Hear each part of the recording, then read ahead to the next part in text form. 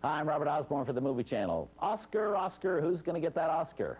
Well, it's that time of year again, as if you hadn't already noticed. Hollywood's going to be handing out the latest batch of gold-plated statuettes on March 29th to, well, nobody knows for sure right now.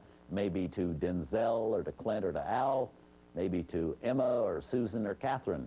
The only thing for certain right now is that here on the Movie Channel, there's no need to move your dial all month long. We have a whole batch of Oscar winners for you. In fact, four weeks of Academy Award winners, every day at noon, uncut and commercial free. No overacting allowed, of course, just perfect, pristine work. 20 samples of the best of the Oscar winners since Hollywood began the whole wild, crazy game of statue mania. We're starting our movie channel salute to the Oscars with a nod to great directors. Without the great men and women behind the cameras, there would be no great work on camera, believe me. A perfect example, Treasure of the Sierra Madre. That's the film that won John Huston an Oscar as the Best Director of 1948.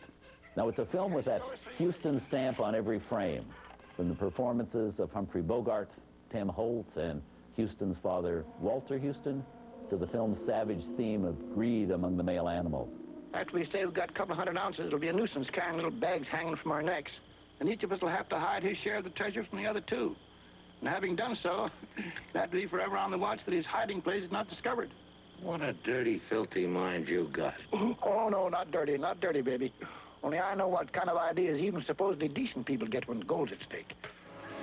Amazingly, for all the powerful John Huston films before and since, this is the only time he ever won an Oscar for direction. And during our salute to Oscar's great directors, we'll be showing the treasure of the Sierra Madre, among other Academy Award winners by the likes of David Lean, William Wyler, and Kevin Costner. And what would movies be without superb leading men like Gary Cooper, Burt Lancaster, Fredric March, and Jimmy Stewart? We'll also salute those Oscar-winning gents in their award-winning roles, including one of the most unforgettable male performances ever put on film, Robert De Niro in Raging Bull. That's a harrowing 1980 movie about boxing champ Jake LaMotta. This is the performance that was first talked about because De Niro went so far as to gain at least 50 pounds, going from rock hard to rubbery. The real thing, no fake padding. Though I'm no Olivier, I would much rather...